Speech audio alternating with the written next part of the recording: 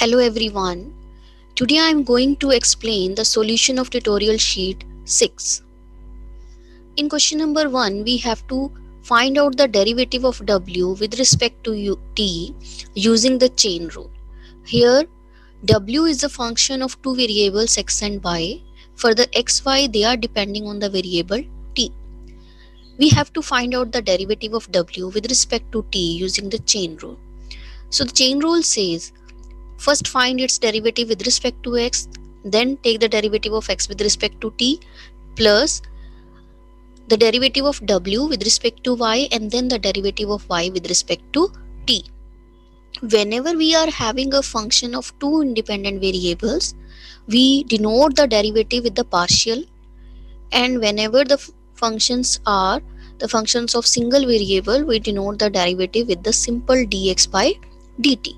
So find all these whenever you have to find out the partial derivative of some function with respect to some independent variable, we have to treat another variables to be constant, right?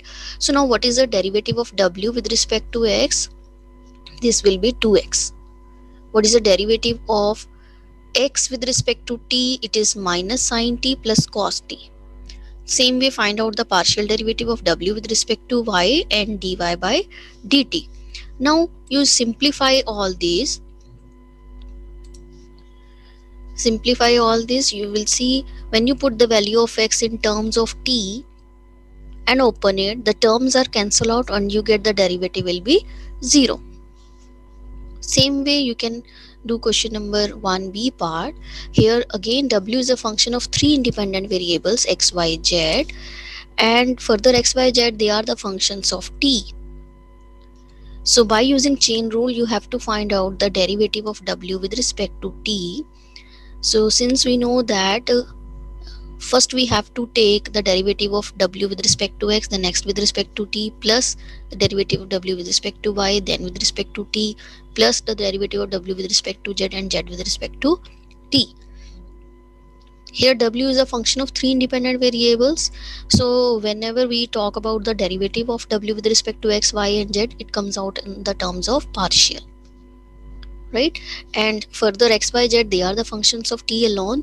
So here we will write this as dx by dt, dy by dt and dz by dt. Now find all these values. Substitute over here convert it into t by substituting x to be in terms of t y to be in terms of t and z to be in terms of t. Then find its value at t is equal to 1 by substituting t to be 1 you can find out the value of derivative with respect to t. In question number 2 you have to find out the partial derivative of z with respect to u at this point.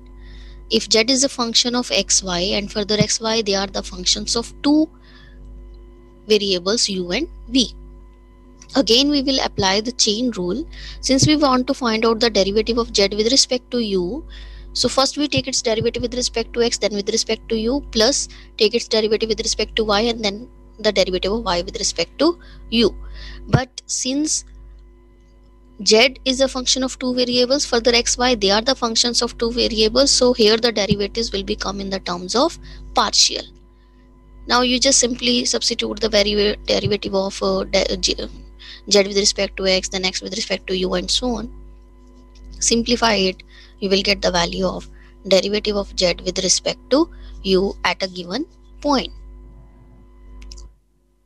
Same way question number 3, if z is a function of x, y and further x and y they are the functions of u, v, we can show that this equation right? For this we have to consider the left hand side. For left hand side we have to find out the partial derivative of f with respect to u as well as the partial derivative of f with respect to v by using the chain rule. So this says that take the partial derivative of f with respect to x first then the derivative of x with respect to u plus derivative of f with respect to y and then the derivative of y with respect to u. All these derivatives comes in the terms of partial because we are having a function more than one independent variable. Now substitute all these values since uh, the function is not given to us so we remains it as it is. Right? Similarly find out partial derivative of f with respect to v. Now substitute in the left hand side. After simplifying we get it is equal to the right hand side. Same way, question number four, here we are having a function of three independent variables. Further, these three independent variables are the function of another three independent variables. And we have to show that this left hand side is same as that right hand side. So we will find out uh, the, the derivative this, this and this using the chain rule. Substitute in the left hand side. After simplifying, we get this is equal to the right hand side. In the C question number 7 here we have to find out the partial derivative of u with respect to x as well as u with respect to y if the functions are this. So here u is a depending on pqr for the pqr the functions of x y z. Again we have to apply the chain rule. Substitute all these derivatives. Simplify it. We will get the value of this at this point. Root 3 to 1 Same way in question number 7 second part. Again we are having u as a function of pqr and further pqr the functions of x, y, z. So if we want to find out the derivative of u with respect to x and u with respect to y, we have to apply the chain rule and then you substitute all these values. After simplifying you get the value of derivative. Same in the question number 8. Here z is a function of x alone and further x and uh, x is a function of u and v. So if we want to find out the partial derivative of z with respect to u we have to apply the chain rule. First take its derivative with respect to x then the derivative of x with respect to u. Now since z is a function of x alone so here the derivative is a simple derivative. And since x depending on 2 so here the derivative is partial derivative. Now substitute all these values simplify it we will get the value of derivatives in question number 9, we have to find out the directional derivative of the function at a point 1, 2, 3 in the direction of the line PQ where Q has a coordinate this. In what direction it will be maximum and what is its value. Now since we know that what is the directional derivative, it's a derivative of a function in a particular direction at some given point. So here this is a function, this is the point and the direction is a line PQ. So we have to find out first of all the coordinates for PQ and that will be 5 minus 1 right then minus 0, uh, 0 minus 2j plus 4 minus 3k. So PQ vector will become this one.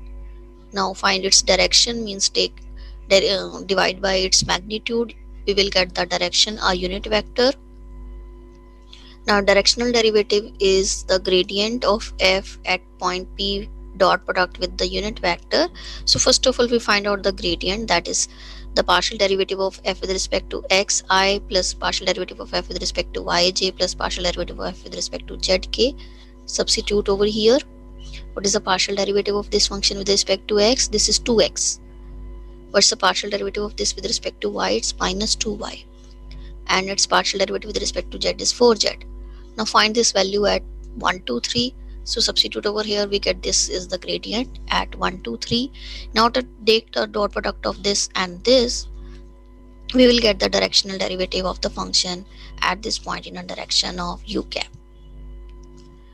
Now the further question is in what direction it will be maximum and what is its value we know that the derivative will be maximum in the direction of gradient right? And here the gradient is this one 2i cap minus 4j cap plus 12k so the direction will be divided by its magnitude. So this is the direction and the value of derivative in this direction is mod of del f which is the square root of 164 In question number 10, first part, we have to find out the directional derivatives of the following function at the given point in a particular direction. So that will be the dot product of gradient and unit vector. So first of all, find out the gradient at a point, then take its dot product with the unit vector. So here it is not a unit vector. So first of all, divide by its magnitude and make it unit. And then take the dot product, you will get the value of directional derivative. Same way B part, C part, now question number 11. In question number 11, the temperature at any point in the space is given by this function. A mosquito located at this point desires to fly in such a direction that it will get warm as soon as possible. So in what direction should it fly? Here the temperature is given by this, point is this we want the maximum temperature so that the mosquito will get warm as soon as possible as we know that the temperature will be maximum in the direction of Uh, del t means the gradient of t. So we'll find out the gradient first at the given point. So the direction will be the direction of gradient means this divide by its magnitude. So this is the direction where the mosquito should fly so that it will get warm as soon as possible. And the temperature in this direction is the mod of del f which is 3 same way question number 12 we have to find out the direction in which the function increases and decreases most rapidly at some point. Since we know that the function increases in the direction of gradient and the value of derivative will be mod of del f in this direction and decreasing in the direction of minus of gradient and the derivative is minus of mod of del f. So we can find out first the del f which is gradient at a point then it will be increases rapidly in the direction of del f means this the value of derivative will be this. Similarly decreases in the direction of minus of del f this and the derivative is this. Same way b part c part and d part